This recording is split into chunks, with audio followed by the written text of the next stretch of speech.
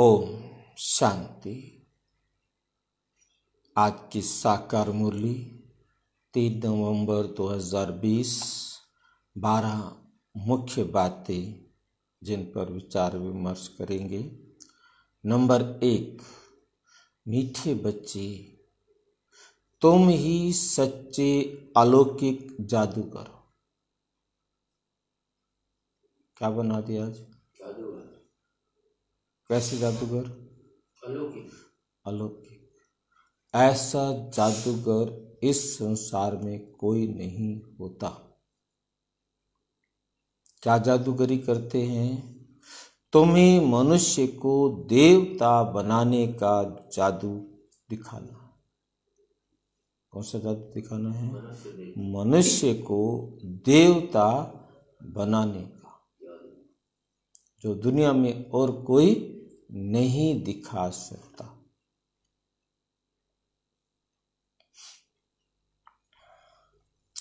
अच्छे पुरुषार्थी स्टूडेंट के पास स्टूडेंट पास विद ऑनर होने का, अर्थात विजय माला में आने का लक्ष्य रखेंगे। अच्छे स्टूडेंट की पहचान क्या होगी? विजय माला में आने का लक्ष्य रखेंगे।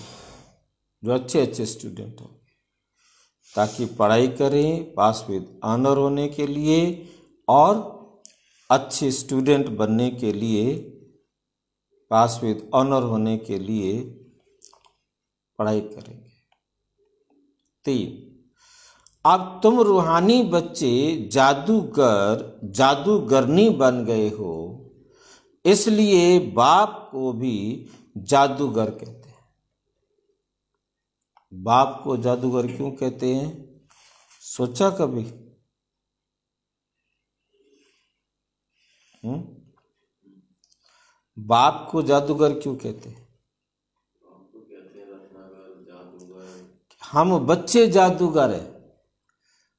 बाप को जादूगर इसलिए कहते, बात को बहुत ध्यान से समझना है, बाबा क्या कहते हैं? अब तुम रूहानी बच्चे जादूगर जादूगरनी बन गए हो, इसलिए बाप को भी जादूगर कहते हैं। यदि आप जादूगर जादूगरनी ना बनते तो बाबा को ये नाम नहीं मिल सकता था। बात समझ में आया? बाबा को जादूगर बनाने वाले कौन? और हमें जादूगर बनाने वाला कौन? शिव शिव बाबा हमें ऐसा जादू करना ना सिखाता। बोला, गुप्त रूप में सिखाता बाबा है, हम उसे प्रैक्टिकल करते हैं तो नाम फिर बाबा को मिलता है। नाम बाबा का होता है क्योंकि सिखाया उसने करने की विधि बताई उसने। ऐसा कोई जादूगर नहीं होगा जो मनुष्य को देवता बना दे। ये जादूगरी है ना? इस ज्ञान को सुनकर नर से नारायण या मनुष्य से देवता बन जाते हो। बन जाते हो। देवताओं की भी सावरेंटी है ना? तुम बच्चे, अब श्रीमत पर भारत में डीटी सावरेंटी स्थापन कर रहे हो। बाप, तुम आत्माओं को ज्ञान का तीसरा नेत्र देते हैं, जिससे आत्मा जान जाती है। शरीर बिगड़ तो आत्मा बात कर नहीं सकती। बाप समझाते हैं, मैं आया ही हूँ पावन बनाने। पावन बनाने। बच्चे जो काम चिता पर बैठ भस्म हो गए हैं। बच्चे जो काम चिता पर बैठ भस्म हो गए हैं, उन पर आकर ज्ञान की बरसात करते हैं, उन्हें पुनर्जीवित करते हैं। तुम बच्चों को योग सिखलाता हूँ, बाप को याद करो। अर्थात बाप का कहना मानो तो विकर्म विनाश होंगे और तुम परिस्तान के मालिक बन जाएँगे। जो सुना, वो कह देते हैं सत्य दुनिया में क्या है? जो किसी ने सुनाया सत्य वचन। हनुमान पवन से पैदा हुआ सत्य वचन अरे भाई, हनुमान पवन से कैसे पैदा हो गया सत्य वचन कोई क्वेश्चन नहीं उठाना। जो कह दिया है वो सत्य वचन है, बस। फिर दूसरों को भी ऐसी बातें सुनाएँगे? ऊपर से सूरज आया, बच्चा दे के चला गया। इंद्र आया, ऊपर से बच्चा दे के चला गया। तो कहने का है कि वंडरफुल अभिव्यक्ति जो है ना एक्सप्लेनेशन कहानियाँ स्टोरियाँ जो अनबिलीवेबल हैं, वो सुनाकर हमने क्या कहा? सत्य सत्य सत्य अब तुम बच्चों को राइट और रॉन्ग को समझाने का ज्ञान चक्षु मिला है। अब तुम्हें मिला है ज्ञान चक्षु। किस चीज़ का? राइट और रॉन्ग समझाने का। तो राइट कर्म ही करना है। अब करना कैसा कर्म है? राइट कर्म करना है। अभी तुम श्रीमत पर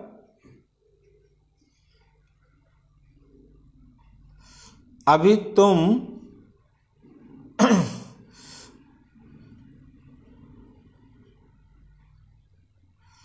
अभी तुम श्रीमत पर राम राज्य स्थापन कर रहे हो, वो है नई दुनिया और यह है पुरानी दुनिया। अब तुम बच्चों को राइट रॉन्ग को समझने की ज्ञान चक्षु मिली है तो राइट कर्म ही करना है।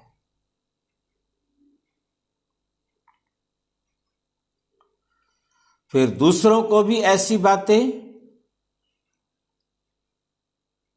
दुनिया पर देवताओं की परछाई नहीं पड़ सकती। पुरानी दुनिया पर देवताओं की परछाई नहीं पड़ सकती।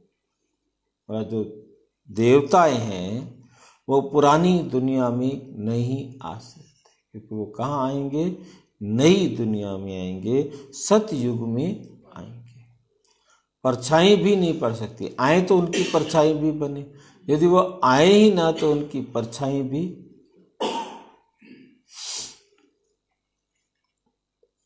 लक्ष्मी का जड़ चित्र उठाकर रखो तो परछाई पड़ेगी। चैतन्य की नहीं पड़ सकती। क्या मतलब?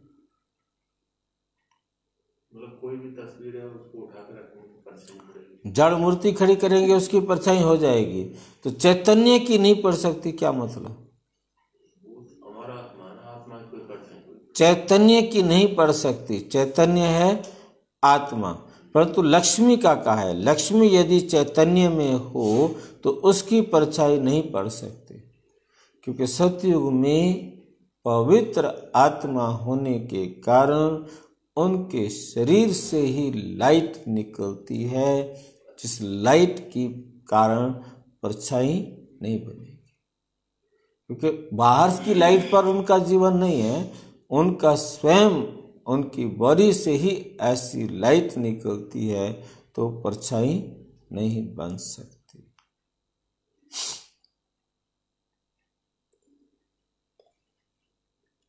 इस रूहानी नशे में रहना है कि बाबा हमें डबल सिरताज बना रहे हैं। हम हैं स्वदर्शन चक्रधारी।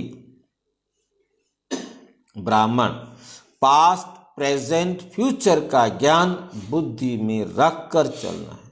पास्ट प्रेजेंट फ्यूचर का ज्ञान बुद्धि में रखकर चलना है। पास विद ऑनर होने के लिए बाप से सच्ची सच्ची प्रीत रखनी है। प्रीत का मतलब कहना मानना। बाप को याद करने की गुप्त मेहनत करनी है।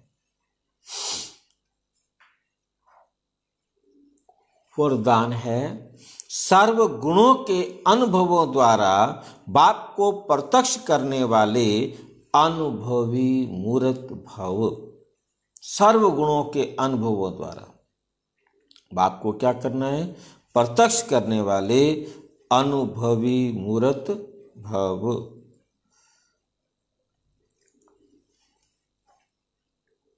स्लोगन है कारण को निवारण में परिवर्तन कर कोई भी कारण उसका क्या करो? निवारण। उस कारण का हल कर दो। अशुभ बात को शुभ करके उठाओ। अशुभ बात को अपने जीवन में कैसे लेके आओ? शुभ करके उठाओ। अपने जीवन में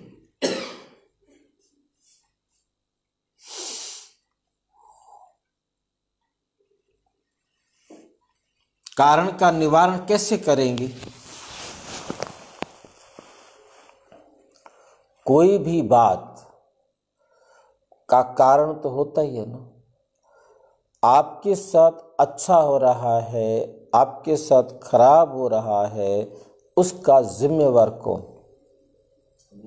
हम हैं।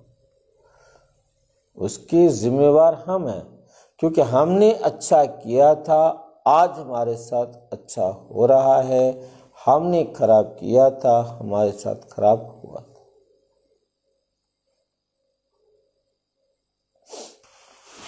तो जब ये हमारे जीवन में आता जाएगा तो नेचुरल हम क्या होते जाएँगे?